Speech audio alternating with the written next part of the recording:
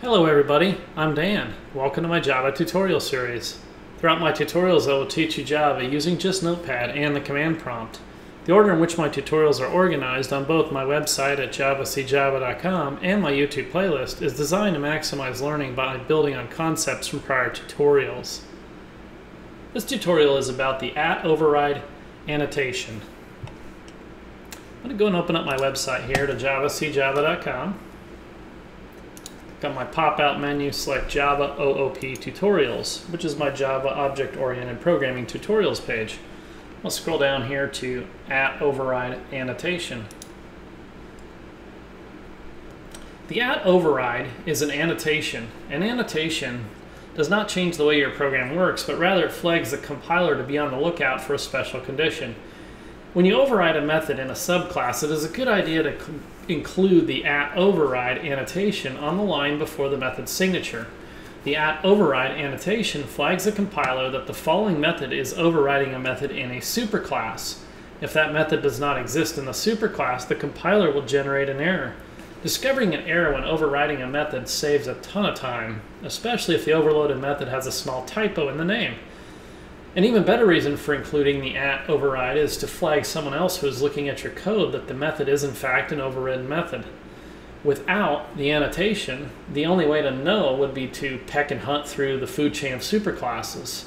I personally absolutely love it when I see the at override in Java code. It tells me right off the bat that the programmer who wrote the class had the foresight and took the time to be thorough. Let's go ahead and scroll down here to the code and we'll highlight all this, hit Control C copy or right click and select copy. Let's move the browser off screen here. I have a shortcut to the command prompt on my desktop, but if you don't, you can create one really quick by going new shortcut, type in CMD, next, and finish. It's just that easy. Let's open up the command prompt, type in javac. You should see a whole bunch of scroll, stuff scroll by. If you don't, go ahead and watch my tutorial on the installing the Java Development Kit, you want to make sure you get that installed and configured properly before continuing on. Type in CLS to clear the screen, then CD space backslash CD is short for change directory, backslash tells us to go to the root. And then we're going to type in MD, which is make directory Java, right? I already have it, but if you don't, it'll go ahead and create it for you. We'll go ahead and change to the Java folder. I'm going to create a new directory, and I'm just going to call this at override We'll change directory to the at override folder. And I'm going to do notepad at override.java. Control V to paste. Come up and save this. Okay, so I've got four classes in this um, at override.java source code file. And basically, we've got a class grandparent with a display message method, void um, return type, and no parameters. It's just going to display to the console invoking the method from the grandparent class. Okay, and then we've got a class parent that extends grandparent, right? And we're going to override the display message method. And here's the at override annotation, which basically says, okay, the next this what's coming up next is the is a method that is overridden. Um, we're overriding a method from the parent class, from the uh, sorry superclass, right? So this is the subclass, and this is the superclass. So at override says that there's got to be a void display message. Same signature here with the class name and the and the parameters, and the same return type. It says there's got to be one up in here. Okay. If there isn't, it'll go ahead and display a message. And basically, the parent one is just going to display to the console, invoking the method from the parent class, right?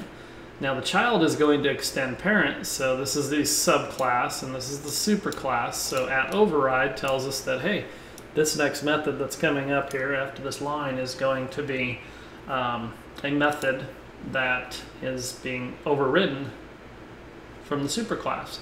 So and sure enough, we've got the same method signature, display message on the name there, no parameters, and the return type. And it just simply displays to the console, um, invoking the method from the child class. Okay, Simple enough. I've learned all about that over the last few tutorials. So let's go up here and then my class at override. I've got my main method entry point and I'm executing three statements here. So I'm just using the new operator. I'm not even creating a reference variable. So the first first one goes ahead and uses the new operator to create an instance of a child object and then invoke its display message method, right? Which comes down here and displays this. The next one creates a new parent, new instance of a parent object, and a reference to that, and then uses the dot operator to display, call its display message method. And the third one creates a new grandparent instance of a grandparent object, a reference to that instance per se, and uses the dot operator to invoke its display message method. Okay, very simple. We're going to run this. I'll show you what it, what it does, and then we'll go ahead and change a few things and show you how that works and how much time it can save. So let's go ahead and compile that and run it. And we get invoking the method from the child class, invoking the method from the parent class, and invoking method from the grandparent class. Okay, now, um, let's say for example we didn't have this at override in here. No big deal. We can still save this, we can still compile it, and we it'll still run the same way. So it's completely optional, right? And now let's say, for example, when I created this, I just left one of the S's out, right? Or maybe uh, maybe I was talking to a coworker, but my mouse was sitting here focused on that S, right? And I accidentally like hit the backspace key and didn't even realize that I changed the code or something like that and then you know I was just like, oh let's just compile this right and so of course that still compiles just fine you might go what? Wait hold on just a second. We could still run it just fine. And now look what happens. Invoking the method from the parent class invoking the method from the parent class and invoking the method from the grandparent class. What? You know? Now we gotta scratch our head and go wait hold on just a second. What is going on here? New message.